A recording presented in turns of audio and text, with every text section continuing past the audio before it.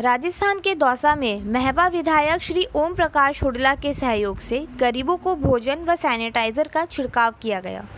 विधानसभा क्षेत्र में महवा के विधायक ओम प्रकाश हुडला ने तीन दिन तक किया सोडियम हाइपोक्लोराइड का हाई स्पीड दमकल से छिड़काव, जिसमें मंडावर अस्पताल व थोड़ी का बास से बीच का बास, गाँव मंडावर कृषि उपज मंडी, Mandawar main market, bus stand sodium hypochlorite का स्वयं साथ चलकर हाई स्पीड दमकल से छिड़काव किया। साथ साथ समाज सेवी अशोक नरेड़ा भी मौजूद रहे।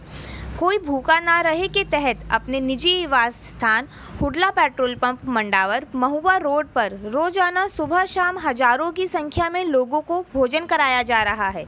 जिसमें कच्ची बस्ती के लोग व गरीब परिवारों को खाना खिलाया जा रहा है। कोई भूखा ना सोए मिशन को लेकर विधायक महोदय जी ने एक ही अपील की है, कोई गरीब परिवार भूखा ना सोए। गरीब परिवारों का फ़ोन पर ही समस्या का समाधान हो रहा है। निर्धन व असहाय लोगों को फ़ोन करने पर ही खाना भिजवा रहे हैं, विधायक ओम प्रकाश हुडला। दौसा से कैलाश सैनी की रिपोर्ट।